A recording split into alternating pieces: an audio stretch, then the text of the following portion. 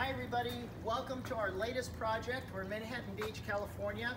Uh, this is Mike with Enviroscape LA, landscape contractor, uh, permaculture guy, and every one of our projects we try to think of the pollinators, we try to think of uh, the homeowner, encourage them to grow some food, but it doesn't have to look like an orchard, it can look really amazing. And so uh, about two months ago, this place was actually just dirt. Uh, there's a couple of large dogs. I'll give you some of the parameters that we were going through. Uh, has a couple of big dogs, Hazel, Hazel and got the, got the other one's name. Anyway, cute dogs, but big dogs. They like to dig. And so I'm going to show you some dog solutions. So we had to kind of dog proof this. We wanted to help the pollinators. We wanted, as you can see here, here's seating for entertainment. And um, so I'm gonna spend a few minutes with you to show you a how to dog proof your entertainment backyard that also happens to have a little bit of a food forest to it. And so let's start here. So this, this right here, this is a big area.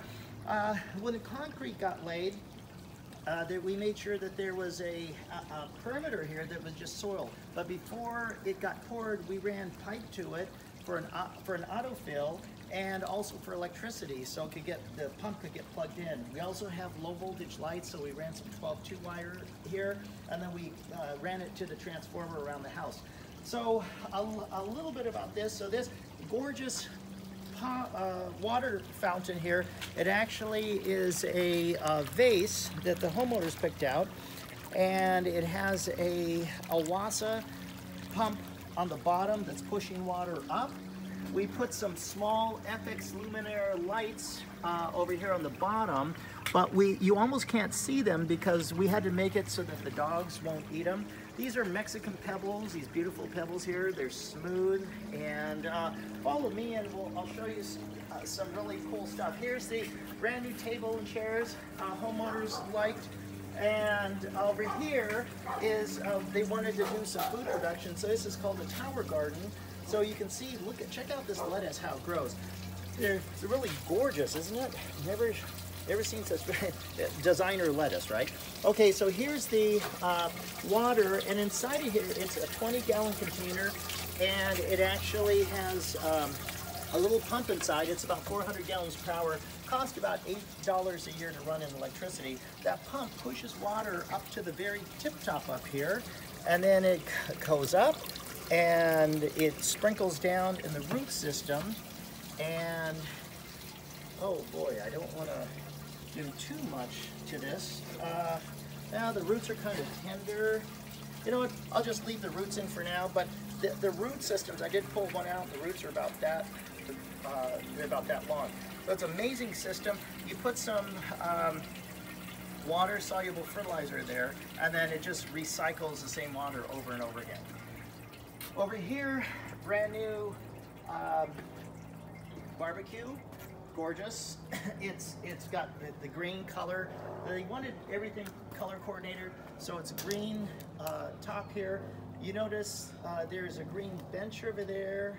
There's the green uh, seat cushions, the green fountain, and then to tie in with this type of green, the green and blue combined together are turquoise, and so we have these little tiny food uh, forest bowls, food bowls, if you will. Now, what's interesting about this is when you look at it all around, you come around the whole thing, it's clean. What we did here was we actually put, before the concrete was laid, we laid a three quarter inch pipe that went up above, so in the middle of the concrete here, there's actually three quarter inch uh, pipe. And then what we did, this is a sprinkler head right here. So when this sprinkler head turns on, it actually goes into the bowl and we ran the drip irrigation. It's a tiny little tube. We actually ran that through the drain pipe. And so what you have is the water, when the water system goes on, it comes out here, the micro spray drip, and then it goes into that three quarter inch pipe. That's basically a drain and it goes out into the garden. Uh, they have uh, some, again, it doesn't, technically that you could eat this. This is what they call ornamental kale, kale, oh, excuse me, ornamental cabbage. Here's kale, uh, here's a strawberry. Check out the strawberry on this side here, yum. the the strawberries you grow yourself at home are really the best tasting. Uh, we've got some basil here. This is going to become big giant artichoke, so it's going to have to get dealt with at some point because those root systems are really aggressive. But we'll monitor it. Um, over here, we have, well, on the side over here is just the utility area. It's where we have the, the lighting transformer talk about lights, I had mentioned that there were uh, lights, there's up lights and there's down lights. And uh, again, we want to remember that we don't want the dogs eating the lights, and believe me, they would. They would think they're a stick. they would grab them. So over here, we've actually got a light. This is an apple tree, by the way. It's a Fuji apple, grows really well in the South Bay. If you live in Los Angeles area, this is the one you want to get. It's brand new. Uh, it's lost its leaves, and it's it's to start getting those swells, those buds to, to get flowers and then apples. Uh, there's a light right here.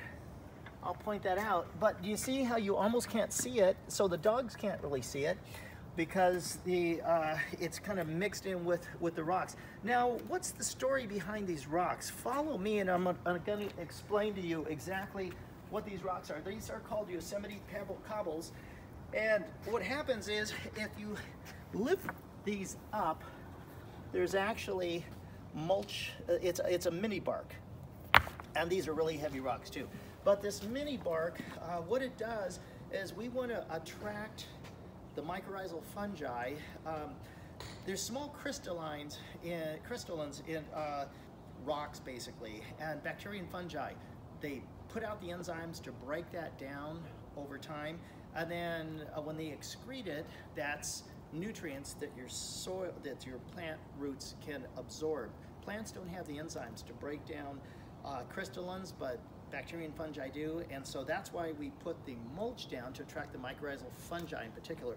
Uh, and that will, we'll keep this simple. uh, that will basically feed your plants. So that's why you put the, uh, even if you're gonna put rocks, make sure you put the micro, the uh, mycorrhizal food down, the, the mulch, we put about a three inch layer of uh, mini bark down, and then we will put the rocks on top. The reason we put the rocks again is because the rock, the dogs are diggers. That is how you dog proof your garden. So you can still have a beautiful garden and not have uh, the dogs dig through it. Now, wanted to point out that we originally were going to do uh, path lights. Uh, they were, they're lights, they're about 12 inches, they have a hood on them. We are gonna put them down here. It's a real pretty light, but the problem is the dogs. So what we did here is we got the FX Luminaire makes a, a light that actually, uh, we call it a, a, like a tree light because you can actually mount these in a tree and they shine down. So we put it on the fence post and we connected it to the electricity. The, the magic of this system is that you can actually um, zone dim the lights, so it, go, it has a has an app. It gets downloaded, and then you connect it to this, and you can actually um, uh, dim your lights from your phone. So, for example, there's not much of a tree here, but we expect this tree to grow to about 20 feet to get pretty good size. So right now, we only need about 10 to 15% of the light that comes out of this fixture to shine up because we you know, there's no, nothing really to shine up on. But come another three or four years, this thing's going to be huge. We want to make sure that we have the ample light, so without having to change a light fixture, we just get on our app, on our phone, we up the wattage, and it becomes a brighter light. So uh, we did install, uh, because of the dogs, we installed a marathon lawn. This should be bulletproof. We did install a Rain Bird irrigation system with it. Over here, we have another bowl, same thing. Check out this uh, tricolor sage. It's kind of a purple, white, uh, variegated white and green. It's a really, really cool sage. And what have we here? Some onions, hmm, and some oregano. Yeah, a couple different types of oregano. Wow, smells wonderful. Cilantro. I bet this is going to be great for the Super Bowl. so, so it's a we'll call this our Super Bowl Super Bowl bowl. Um, over here, we got some roses in, uh, and uh, here we have, uh, check out all the beautiful uh, Yosemite cobbles that are right here. And then back here, we have uh, some sage. We have some hydrangeas that are looking bad now because it's February. Uh, magnolia tree. We've got more of the pebbles, excuse me, the cobbles over here. Oh, and where am I here? This is actually this gorgeous, notice the green color, it's the same as the barbecue. It's uh, green to be able to have a bunch of people sit here, and then uh, this actually lights up at night. It's a, it's a fire, um, uh, fire, basically, it's like a fireplace. Uh, over here we have more uh, cobbles, just filled with cobbles. We have uh, Lomandra grass growing over here. It's pretty bulletproof. Um, and then this is one of my favorite trees on the planet. This is called the Arbutus marina. It has this gorgeous, um, gorgeous, the most, the most gorgeous uh, trunk on the planet. It's a smooth bark. It's actually related to the manzanita. Um, we have another bowl here, another super food bowl. Love this thing. Um, and then we've got more roses. Oh, we do want we do want some privacy, and so we chose to go with this Calliandra pink powder puff. This thing will get 20 feet tall if they wanted to, to kind of blank out uh, what's there. And uh, it'll go about 15 feet wide, so they'll get a lot of mileage out of that. And that brings us back here to our, check this thing out. It's the most gorgeous thing ever. This is another food bowl. Here's the little mini sprinkler. And then check out the, the different colors of lettuce, just stunning. So hopefully I've, uh, oh, there's even peas here. check these out. These are actually gonna billow down. Um, I'm gonna come back here and take more pictures. This is just too gorgeous. Um, hopefully you'll get some ideas if you're thinking about redoing your backyard. Hopefully this will give you some ideas, inspire you to include some food, include something for the pollinators, the birds and butterflies will be able, we left this just a tiny little bit crooked so there's less water flowing on one side so that the pollinators could come and have a drink of water. So this is it. Dog-proof yard, it's beautiful, it's got all the elements, it's got the Rain Bird Copper Shield drip irrigation, it's got the FX luminaire lighting, and uh, one last thing before we go, um, you want to know what my favorite plant is uh, on the side of a house? Now mind you, there's probably five feet here. You can't put something that is going to get real big and thick and bushy, and how are you going to pass through? So this is my favorite plant in the world for this type of, of um, environment. This is the flower. Oh my goodness, check that thing out. It's just amazing. How do you find a flower like that, right? Well, this is the number one uh, plant for attracting hummingbirds for nesting in.